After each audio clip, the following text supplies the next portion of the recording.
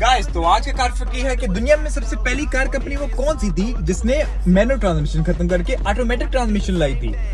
वो थी general Motors company जिसमें आ जाती है कैडिलैक और जीएमसी जिसने वो 1939 में सबसे पहले मैनुअल ट्रांसमिशन खत्म की और ऑटोमेटिक ट्रांसमिशन लाई और आपकी आसानी की।